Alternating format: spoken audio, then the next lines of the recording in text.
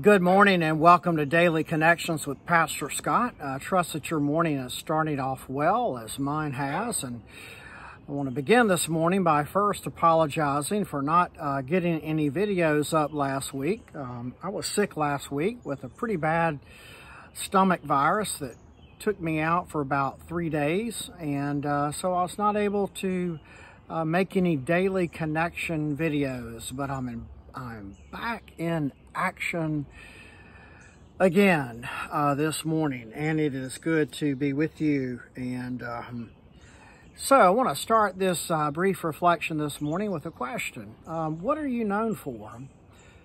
Uh, what will you be known for after you are gone?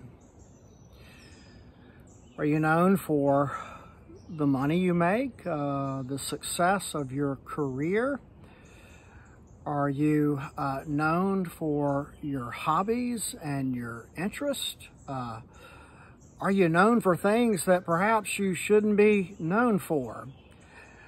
Um, I pose this question this morning because I want to read uh, what Paul said about the Christians in Rome, the church in Rome, and something that they were known for. And so I've begun reading through Paul's letter to the Romans uh, this week. And uh, in Romans chapter 1, in his prefatory comments to the church, uh, to a church he had yet to have been able to visit, but was planning on doing so, he wrote these words concerning these Christians. First, I thank my God through Jesus Christ for all of you, because your faith is being reported all over the world. And so as Paul, uh, in his various missionary journeys, was starting churches and preaching and teaching the gospel along the Mediterranean coastline, he kept hearing about these faithful Christians uh, in the city of Rome, which was the epicenter of not only the Roman Empire, but of the world at that time. He kept hearing these good reports of their faithfulness. This is what they were known for.